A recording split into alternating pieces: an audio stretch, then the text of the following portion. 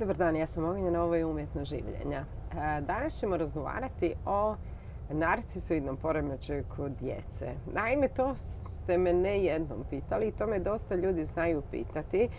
E, znači, obično su to pitanja formulirana e, moje dijete je narcis ili moje dijete pokazuje neka neke narcisoidne osobine, šta da radim i tako. I to je zapravo jako lijepo ako na taj način promatrate svoju djecu i zapravo uočavate potencijalne probleme za budućnost jer sve to govori da e, želite od svoje djece napraviti što bolje ljude, što je, što je znak jedne beskrajne ljubavi. A to je ono što roditeljstvo u istinu i jeste. E, ono što prvo želim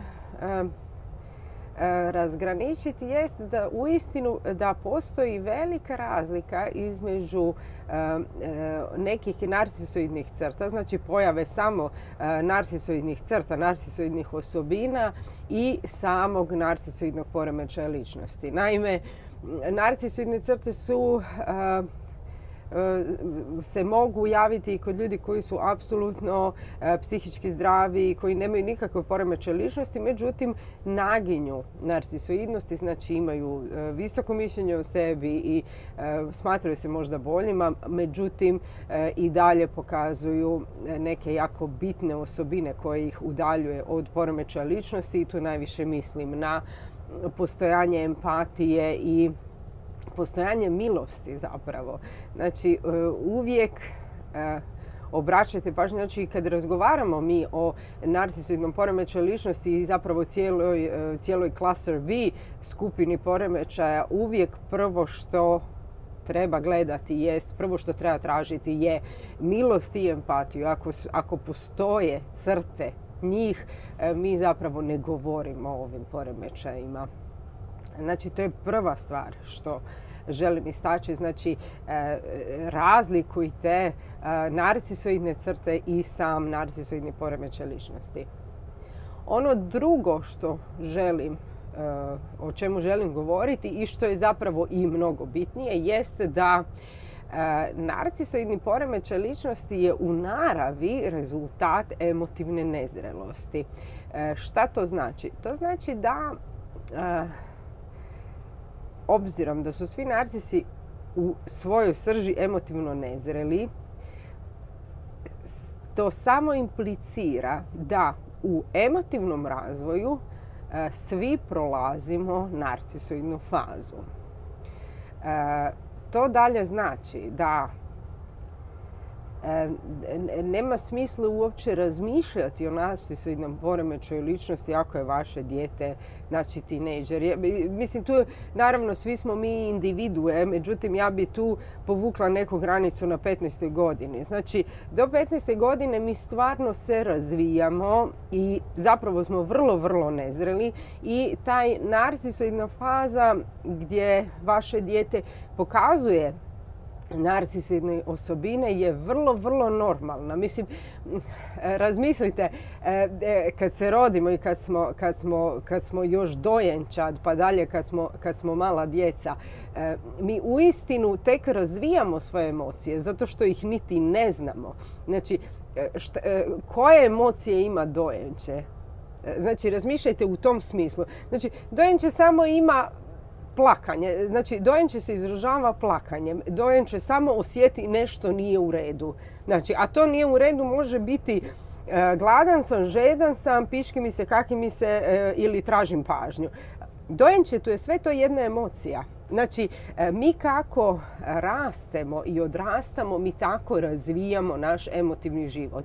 Šta to znači? To znači da djeca od neke svoje šeste, sedme, osme, devete godine zapravo pokazuju jako puno narcisoidnih crta ličnosti i, i to je jako, jako normalno jer tada dijete spoznaje sebe, eh, čak spoznaje šta može, šta ne može, spoznaje eh, zapravo koji im je limit njihovih mogućnosti i spoznaje kako e, stvara relacije unutar svijeta i e, unutar svijeta oko sebe i kako može dobiti ono što želi. Tako da e, sasvim je normalno da dijete određene dobi je ima naglašeni ego, misli samo na sebe, sebe uvijek stavlja u prvi plan, traži pažnju, znači bilo pozitivno, bilo negativno. Znači jednostavno želi istaći vlastitu vrijednost.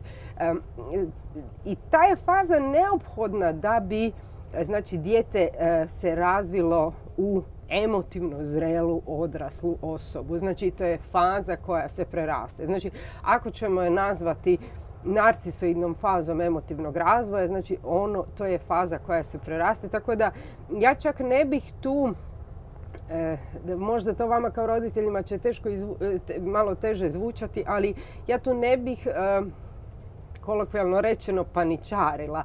Znači, pustite vaše dijete da se razvija i da, znači, i da se emotivno razvija, podupirite znači, emotivni razvoj djeteta i znajte da ta narcisoidna faza prođe.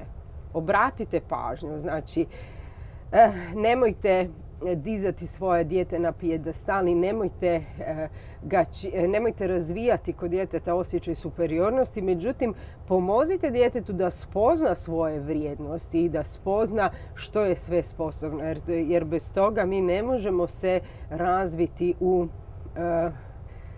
u zrele i kvalitetne ličnosti i zapravo ostvariti maksimum svojih mogućnosti. Jer koliko je loše pretjerano hvaliti djecu, toliko je loše i pretjerano kuditi djecu i kritizirati. Znači, bitno je tu znači, da vi kao roditelj nađete određeni balans i zapravo imate strpljenja za e, e, razvoj kod vaše djece.